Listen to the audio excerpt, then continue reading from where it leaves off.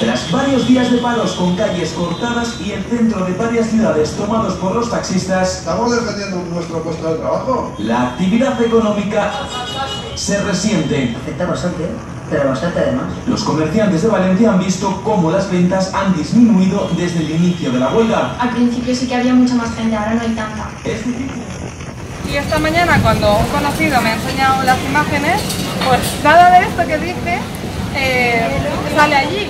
Vale, si no, me quieren, no quieren sacarlo me parece bien, pero me he molestado muchísimo, muchísimo que salga mi o sea, mi cara, porque sale mi cara y la de mi compañera, con abajo un titular donde pone que estamos perdiendo el 25% de los ingresos. Eso es una mentira. Que estamos doblando los ingresos un un día normal de julio.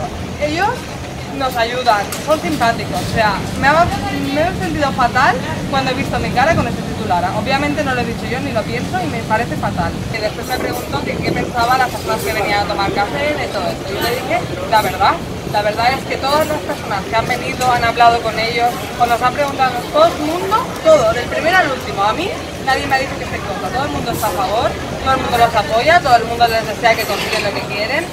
Y había una señora sentada, una señora bastante mayor, ¿vale? Que sé, había venido a comprar algo, y dijo, es que de verdad necesito un taxi.